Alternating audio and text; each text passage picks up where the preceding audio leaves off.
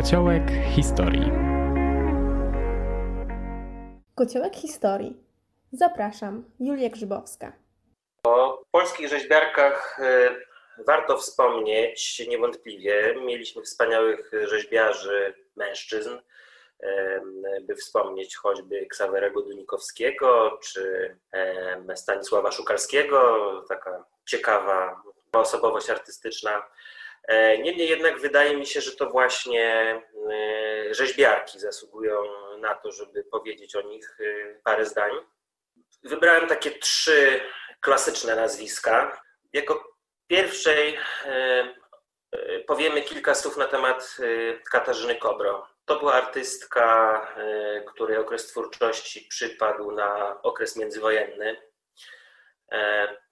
Po wojnie władza ludowa dosyć szybko ukróciła awangardowych artystów, którzy nie bardzo mogli tworzyć, a jeśli nie chcieli się e, przestawić e, na oficjalną socrealistyczną stylistykę, no, byli dość brutalnie e, tępieni. Ofiarą tego padła m.in. Katarzyna Kobro i były mąż Strzemiński. Wróćmy jednak do, do lat międzywojennych. E, Katarzyna Kobro wraz e, między innymi e, ze swoim mężem Władysławem Strzemińskim współtworzyła polską międzywojenną awangardę, czyli ten ruch, który był najbardziej radykalny, najbardziej odrzucał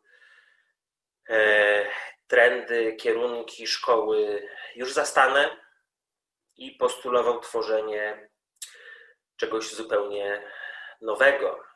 Władysław Strzemiński był autorem takiej koncepcji, czy, czy takiego prądu artystycznego o nazwie unizm, w świetle którego, czy zgodnie z założeniami którego e, każda dziedzina sztuki ma jakąś taką swoją, jakiś taki swój wyróżnik. E, to, co, to, co cechuje tą daną dziedzinę sztuki. I tak Malarstwo według Strzemińskiego cechowało, cechowała powiedzmy płaszczyznowość czy ujęcie na płaszczyźnie. E, rzeźbę z kolei przestrzenność. I teoria rzeźby Katarzyny Kobro oparta jest właśnie na tym współgraniu rzeźby z przestrzenią. Katarzyna Kobro doszła do swojej e, rzeźby w oparciu, można powiedzieć, o, o, o studia nad y, wybitnymi wcześniejszymi rzeźbiarzami, nad y, Boccionim, Archipienko, nad. E, ci rzeźbiarze kolejno coraz bardziej wyzwalali rzeźbę od ciężaru bryły. Rzeźba kojarzy nam się najczęściej z wy, wytworzonym z, z bryły kamienia, marmuru, czy też odlanym z brązu posągiem. Natomiast y, awangardowa rzeźba lat dwudziestych miała zupełnie inne założenia. Rzeźba Katarzyny Kobro mm, zbudowana jest y, z elementów stanowiących płaszczyzny, które mm, współgrają z, współgrają z przestrzenią. Rzeźba staje się do pewnego stopnia mm, zagadnieniem architektonicznym. Rzeźba nie przedstawia osób, nie przedstawia emocji, mm, skrajnie obiektywna, abstrakcyjna, natomiast y, powinna, zgodnie z teoriami Katarzyny Kobro, cechować się doskonałością formy. Ta doskonałość formy polegała między innymi na szczególnym budowaniu poszczególnych elementów, z których składała się rzeźba. To znaczy, każdy element poprzedni i następny stanowił równą wielokrotność albo równą część tego elementu bazowego. To budowało harmonię rzeźby.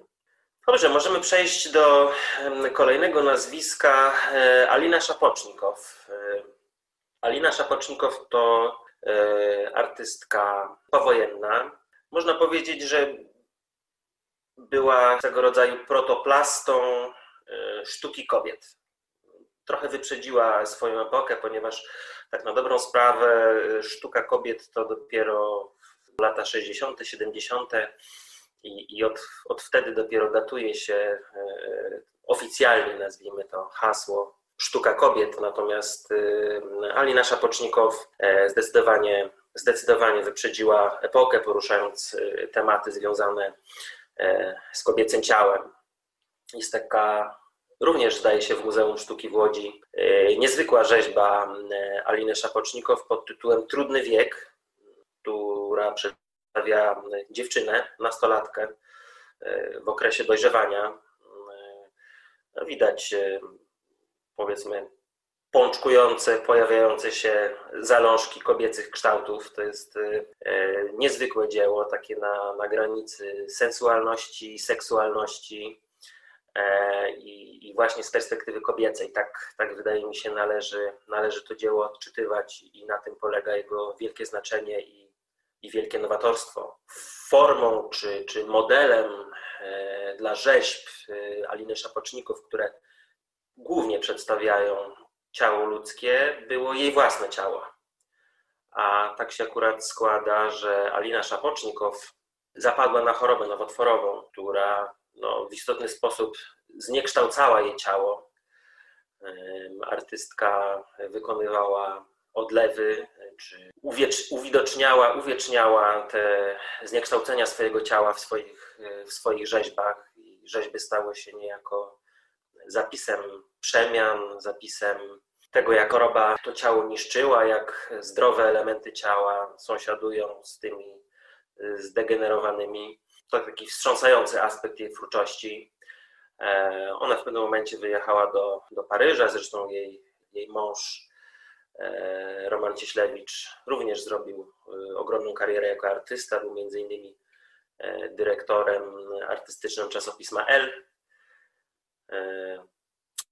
I w przez długi czas był artystą zdecydowanie bardziej znanym i docenianym niż sama Alina Szapocznikow. Dopiero wiele lat po śmierci mm, doczekała się e, zainteresowania, a w ostatnim czasie również y, i uznania. Trzecią, trzecią osobą, trzecią artystką, o której chciałem wspomnieć, jest Magdalena Bakanowicz to również sztuka kobiet, ale to już jest taka sztuka kobiet, która trafiła na swój czas. Lata 60., 70. i późniejsze to jest ten okres działalności artystycznej Magdalena Bakanowicz, która zmarła y, kilka lat temu. Wartość jej, jej sztuki, jej twórczości polega na nowatorskim zastosowaniu tkaniny, ponieważ najbardziej znane mm, cykle prac, które stworzyła, wytworzone zostały z, z worków, z jutowych worków, które mm, były formowane przy użyciu żywicy. Mm, powstały takie, takie cykle postaci kroczące, korpusy, nogi bez, bez rąk, bez głów, albo jakieś takie dziwne stworzenia, nierzeczywiste, mm, podobne do siebie, w dużym nagromadzeniu. Treść tej twórczości ma takie mocno egzystencjalne podłoże. Kiedy oglądamy te rzeźby, przywodzą one na myśl takie poczucie samotności, samotności w tłumie, wyobcowania. Natomiast to, o czym e, należy wspomnieć jeszcze w kontekście tego medium, e, którym się posługiwała, czyli tkanina. Tkanina kojarzy się z tkactwem, czyli taką czynnością kobiecą. Natomiast tutaj to, to tradycyjne kobiece rzemiosło zostało niejako wyjęte z kontekstu, czy przełamane, e, ponieważ coś, co no, często pozwala na zredukowanie e, roli kobiety, czy, czy, czy próby zbudowania takiej narracji o, o podrzędnej roli kobiety, tym razem doprowadziło do tego, że kobieta właśnie odniosła wielki światowy, międzynarodowy sukces. I myślę, że to jest y, ten, ten drugi aspekt, y, który świadczy o niezwykłej wartości sztuki Magdalena Bakanowicz.